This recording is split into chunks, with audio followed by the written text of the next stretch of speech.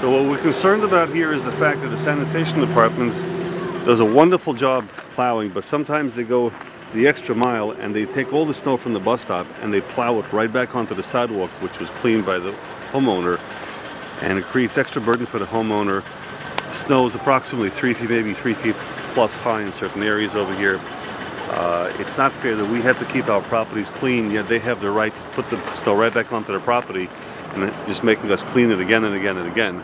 And sanitation department is disinterested in discussing it. They say they've got a job to do, they did their job. And if you look around, you don't even see an area for the for, for the people who are boarding the bus to come up the sidewalk. They've got to either walk to a driveway over there, which is once again iced over, and they've got to walk to the corner and get up over there, which is iced over as well. So it's just not a fair thing.